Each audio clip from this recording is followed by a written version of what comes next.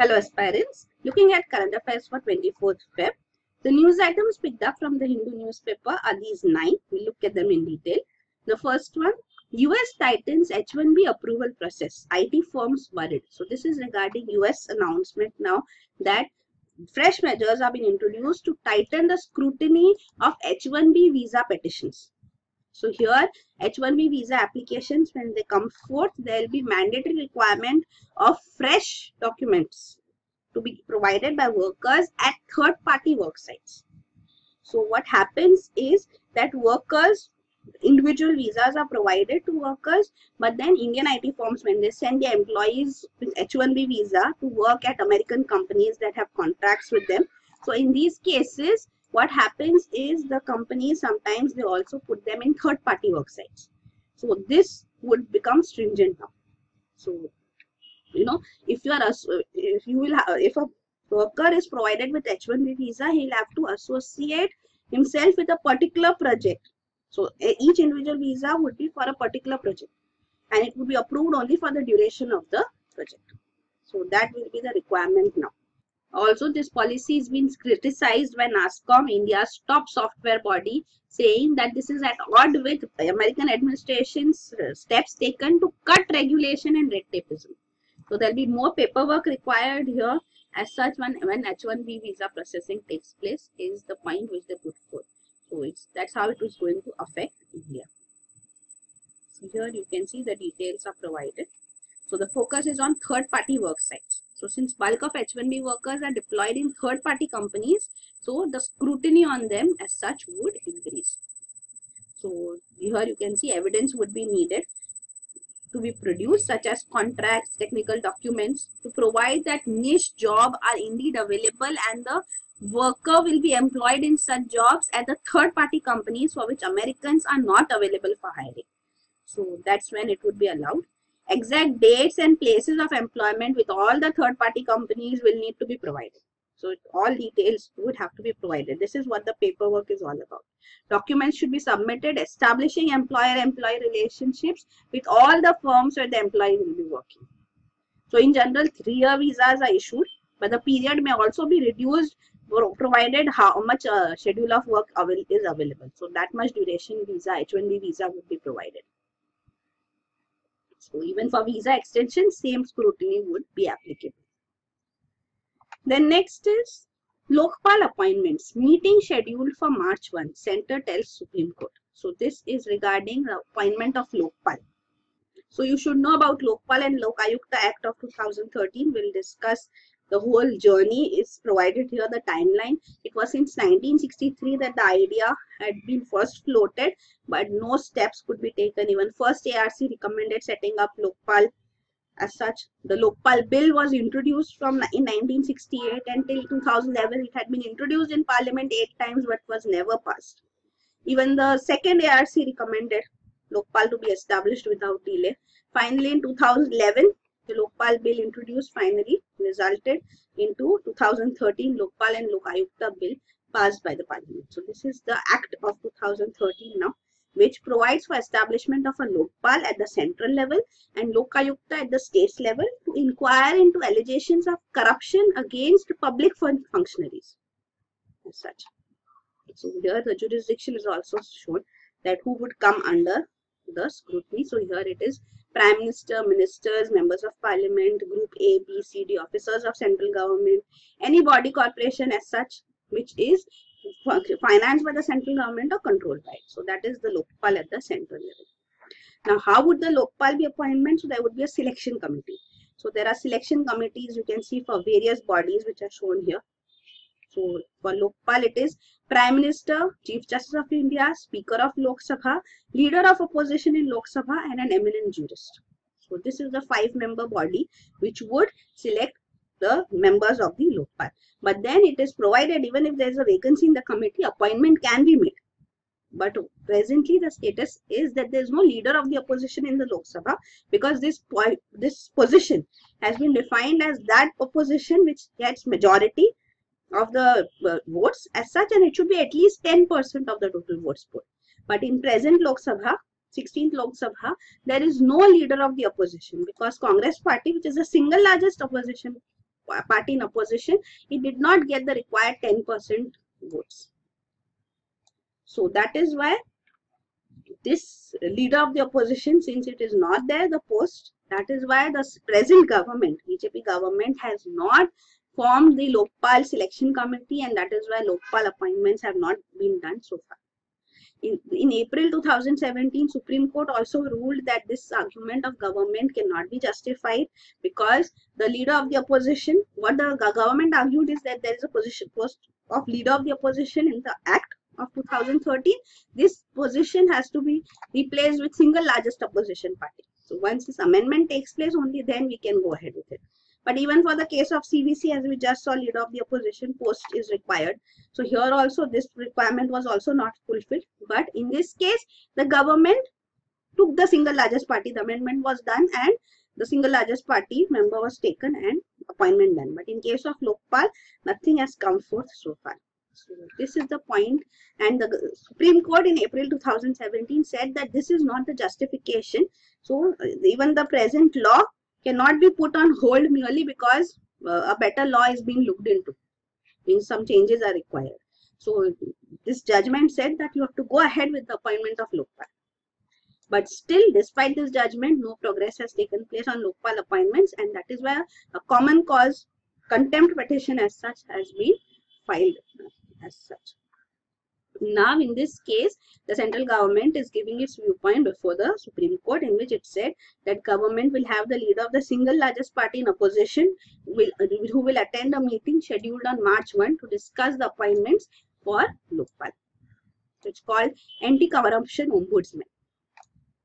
So this is the term ombudsman which is used in Scandinavian countries. So here in the European Scandinavian countries, you have this ombudsman which looks into grievances against the elected and appointed authorities in government. So here then five members in this selection committee are Prime Minister, Lok Sabha Speaker, CJI and single largest opposition party leader in attendance. Then this is regarding the whole, I, whole fight for setting up Lokpal so the Lokpal selection committee formation has been the contention point of contention. But then the Lokpal as such once established will consist of a chairperson and maximum of eight members.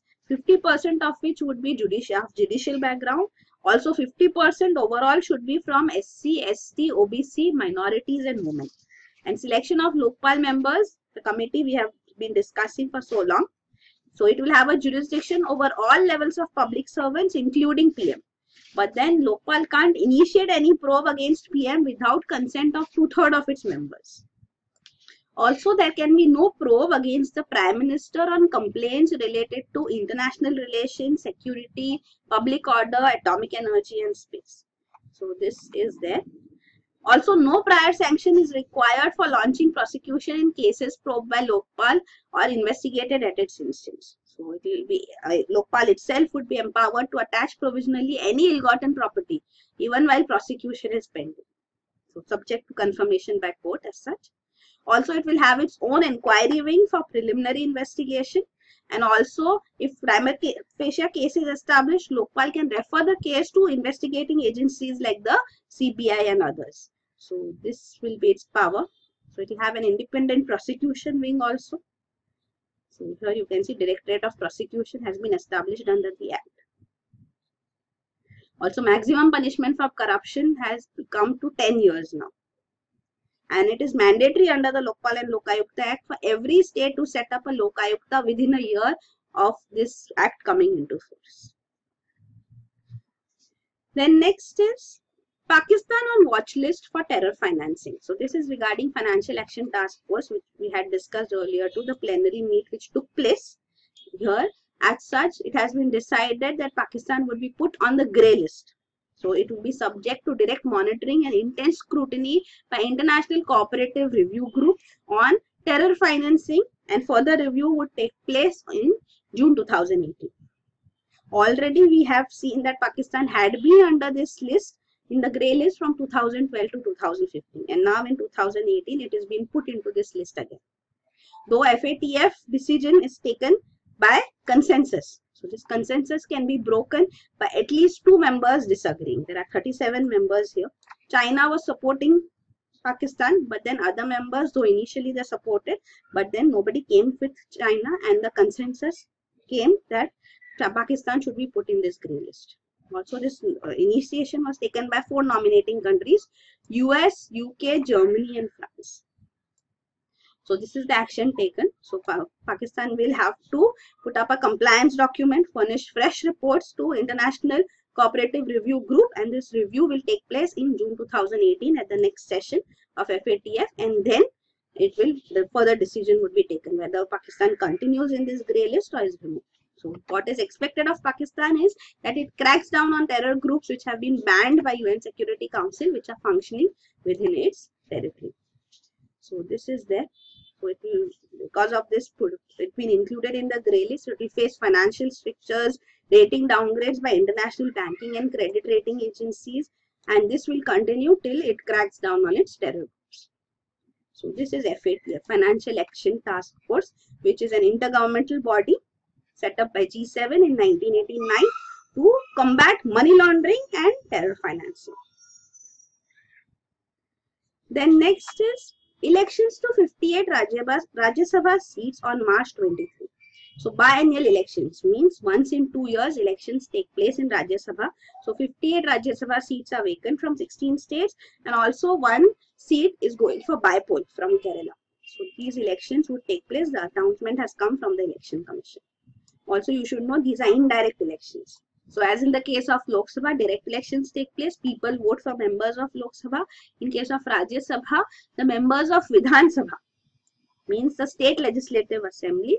Members of each state legislative assembly elect members to Rajya Sabha. So number of seats allotted to each state and that way elections take place. So Vidhan Sabha members are elected by the people and these elected representatives of the people mem elect members to Rajya Sabha. So this is how it takes place. So here we are seeing few seats become vacant. So actually Rajya Sabha, one third member retire every six years. So it's each member has a term of six years. Rajya Sabha is a continuous body. It never gets dissolved. One third members retire every six years. Every two years. So actually the term is six years. So every two years one third member retire and every two years we see Rajya Sabha elections taking place. Total strength of Rajya Sabha is 250. Actually 232 are elected members. 12 are nominated. 238 are elected members. So this general polity behind Rajya Sabha you should know. So here you can see Rajya Sabha cannot be dissolved. One third of its members retire every two years. And each member has a six year term. Rajya Sabha itself does not have a term of five years the way Lok Sabha has a term of five years. Rajya Sabha is a permanent body. Then next is DD Air staff to work in PIB2. So Doordarshan and All India Radio, these uh, officials from here would now work under Press Information Bureau. So this is the order from the Ministry of Information and Broadcasting. So the Indian Information Service officers who are working here, so they would have to work even for PIB now. So this is the publicity arm of the government, press information bureau. So they would be working with the ministries, handle the publicity of various ministries, and in addition to their work at Doordarshan and All India Radio. So this is also called as a conflict of uh, no, conflict of interest as such too, because they have to work independently at Doordarshan, All India Radio, and then they would be working under the ministers as such too. So Union Minister for Information and Broadcasting is Smriti Irani. She took over in July 2017 and it is said the main genesis of this reshuffle, Indian Information Service officers being appointed additionally for PIB are because in October 2017 when World Bank upgraded India's ranking ease of doing business, this story was not covered by Doordarshan. So the reason for this was that PIB did not give the details and this was because of manpower shortage in PIB. So that is why now this decision is taken that members from Doordarshan and All India Radio would be working for PIB as well. So this is the news. Then next is US shared intelligence to fix Pakistan diplomat in terror plot. So actually digital intelligence was shared by US security agencies because of which India was able to fix Amir Zubair Siddiqui a person working with Pakistan High Commission in Sri Lanka. We had discussed him yesterday too. That the NIA, National Investigation Agency, has initiated steps. It has named it in the charge sheet as such too now. So in this case of uh, of having a conspiracy framed against India, uh, planning to attack nuclear installations, defense establishments, etc. in India. So in this case, actually digital intelligence was shared by US. So NIA had approached US and other foreign countries under mutual legal assistance treaty so that digital evidence can be provided by them because Pakistan diplomat had sent mails and even Facebook was used. So these visual elements from sent via these have were procured as such. So these extracts of these emails used as such have been put forth and because of this intelligence NIA has been able to charge sheet this former Pakistan High Commission official. Then next is concerned about new Indian tariffs, US. So US administration has said that India-US strategic relations are strong, but commercial issues are still there. So strategically, India finds mention positively in Trump administration's national security strategy, which we had discussed when it was announced as some time back. So here we are seeing that security issues is fine but with respect to economic issues commercial issues. So in us is presently also concerned about the new round of tariffs which have been announced in the present budget by india. So this is there also. Earlier we have seen president trump talking about high tariffs on high end motorcycles like uh, royal enfield uh, motorcycles as such. They have 100% tariff on them. So this is also an issue which us has raised then trade imbalance is there in favor of India. But recently it has reduced because energy import by India from US, shale gas, etc. has also increased. But still the trade is in favor of India. So here the details are also provided. So this is goods exported from India in financial year 2017. Goods imported by India. So here you can see there is a huge deficit in favor of India and this is farm exports and farm imports. So of course overall the trade deficit is in favor of India and against US. So this is there. Then next is the next big question, a hard or soft Brexit. So Britain, it seems that it is it could go for a softer exit from European Union. So the Labour Party as such had called for a hard exit, completely moving out of the custom union of European Union. But now it is seen that there are differences and US Prime Minister and British Prime Minister Theresa May, she is going to give another speech on the government's Brexit strategy. So further clarification would come forth. So a shift in policy stance may also take place. So officially it has been announced that government will exit the customs union. So it, then it will have to have, you know, separate joint trade deals as such with non-EU states. So this was the announcement, but maybe it continues to stay within it because many industry industry leaders wish that EU rules become applicable. So, like eh, for example, the auto industry. So, auto industry supply chain is heavily integrated with Europe. So, in this case, Britain has said we will adhere to EU rules on a voluntary basis. So this has been indicated by Britain. So that is why even European Union has been clear that you know uh, as such European Union's capital is in Brussels. So it has repeatedly stressed that Britain would not be able to cherry pick the deal which it strikes with European Union because it's going to exit EU. So cherry picking means your choice what you want, what you don't want. So the, the other side also has a say in it, EU. So this is regarding Brexit, Britain's exit from the European Union, the 28 nation bloc. So it will become a 27 nation bloc once EU exits. So it started off in March 2017 when Article 50 of the Lisbon Treaty of European Union was triggered by British Prime Minister Theresa May, indicating UK's intention to withdraw. So it's a two-year time frame which is required for the entire process to be completed. So the negotiations are going on. It's March 2019 finally that the transition deal would be ratified as such and Britain will leave EU. Then next is leaders break ground on Afghan section of TAPI. So TAPI stands for Turkmenistan, Afghanistan, Pakistan and India. So this is TAPI gas pipeline which has been proposed. It's an ambitious multi-billion dollar gas pipeline which will ease energy deficits in South Asia. So gas-rich Turkmenistan is from where the gas would be would be going out through this pipeline 1840 kilometer pipeline which would be laid down which will go through war-wracked Afghanistan so there are security concerns too because it passes through Afghanistan, then it will reach Pakistan and even India. So Turkmenistan presently its oil, its gas is exported to China. So it's heavily dependent on China as a market for its natural gas. So because of this pipeline, there will be diversification of its gas deliveries too, which will be good for its politics as such too. So that is also been highlighted by Turkmenistan.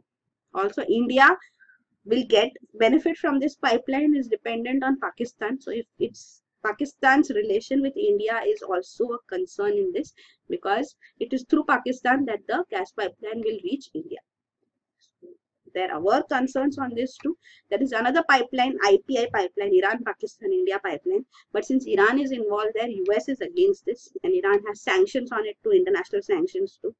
So that is why TAPI gas pipeline is another alternate here which is being pushed by US as well. So here the Tapi gas pipeline is shown. This is the Daulatabad gas field of Turkmenistan from where it will enter into Afghanistan. You can see these are UN declared extreme risk zones in Afghanistan. Your landmines are laid. It will pass through this, reach Pakistan and then here in Fazilka in India. So this is the Tapi gas pipeline and the other pipeline. So this is shown here, Tapi. in green and this is the proposed Iran-Pakistan-India pipeline. So it will take uh, oil from South Pars gas field here. So gas from South Pars gas field will flow from Iran to Pakistan and enter into India. So even in Pakistan, we see this is the Balochistan region where again terrorist groups are active. So and Afghanistan also is part of Tapi pipeline. So these are the huge concerns as such too with respect to the two pipelines. So they have progressed very slowly.